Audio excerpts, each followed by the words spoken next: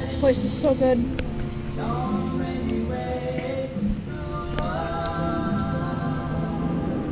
Peanut butter blitz Sunday.